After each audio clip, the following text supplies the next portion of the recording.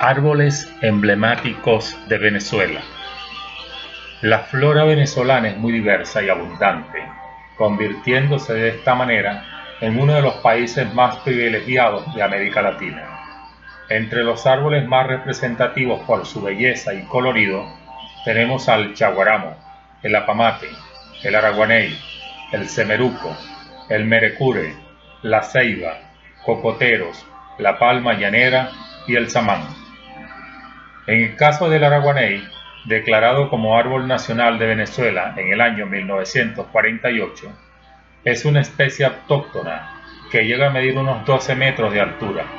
Presenta un tronco recto que florece entre los meses de febrero y abril.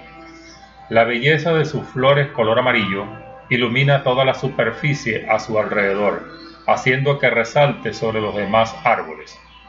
Cada 29 de mayo se celebra en Venezuela el Día del Araguaney, también conocido como la flor de oro del país. Se encuentra disperso por todo el territorio nacional.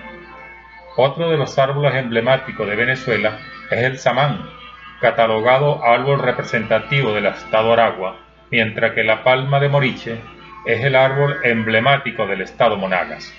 De igual manera, en el caso de la palma llanera, es el árbol representativo del estado Guárico. En los Andes, el pino criollo es un emblema del estado Táchira, aunque también crece en los bosques nublados de Mérida y Trujillo. Mención especial a un árbol no autóctono de Venezuela, pero muy arraigado en la región, es el árbol de mango, ya que muchas personas aprecian su fruta. Espero que les haya gustado esta reseña sobre árboles emblemáticos de Venezuela Fuentes consultadas de Internet, entre otras, wikipedia.com. Narró para ustedes su amigo Manuel Ibarra, youtuber. Será hasta un próximo encuentro.